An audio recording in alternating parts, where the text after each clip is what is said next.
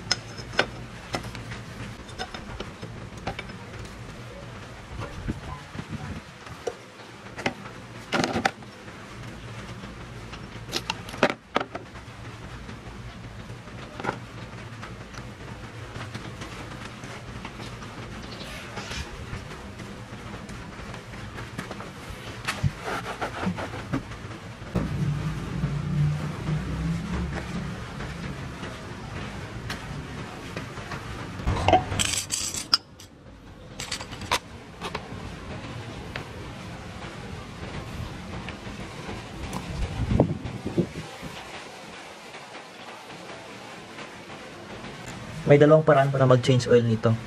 Unang paraan is itong gamitin tong quick drain. Pero hindi lahat ng oil matatanggal. Kaya ang ginawa natin, doon tayo nag-open sa main drain para mas maraming percent ng oil ang ma-drain natin.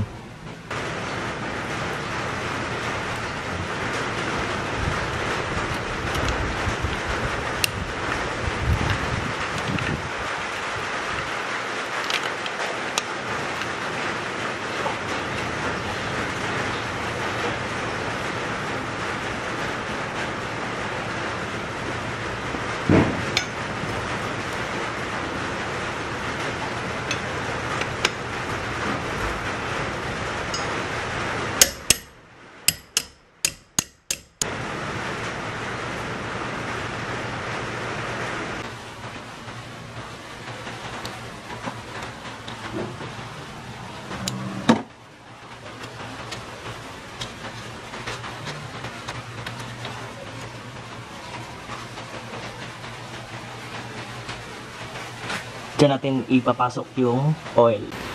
Yung imbudong gagamitin natin, improvise lang ito. Dahil kaka New Year nga lang, yung binili nating turotot, ginawa nating imbudo.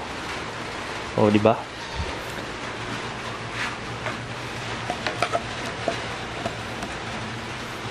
Yan, kasang kasya.